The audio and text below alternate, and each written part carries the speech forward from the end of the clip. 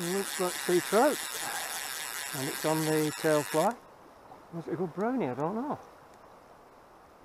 I'm not doing the acrobatics of a sea trout, but not a bad fish.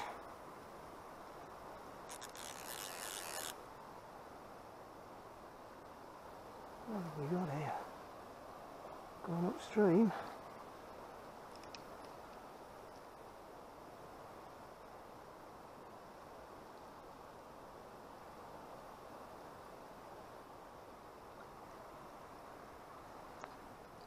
Right round my way, it is. Unbelievable, it is a sea trout.